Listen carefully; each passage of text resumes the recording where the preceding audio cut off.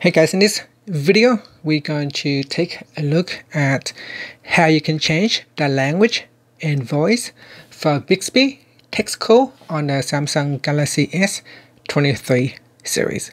First, let's go back to the home screen by tapping on the home button at the bottom of the screen. On the home screen, open up the phone application. Then in here, tap on the more button at the top. From the pop-up menu, tap on settings. Next, we go down and tap on Bixby text call. Then we go down and tap on language and voice. Next in here, you can change to voice number two. Hi, I'm Bixby. This is Hi, voice number I'm one. Bixby. Choose the voice you'd like me to use for calls. Now you can also tap on the add voice button. This will allow you to download additional voice data. So I'm just going to tap on install. This install will take up 93.79 megabytes of your storage space.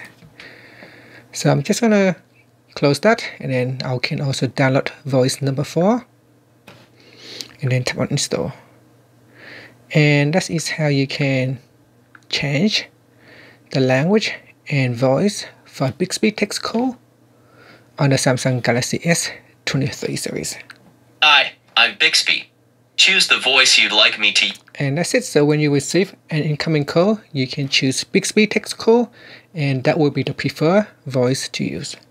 Thank you for watching this video. Please subscribe to my channel for more videos.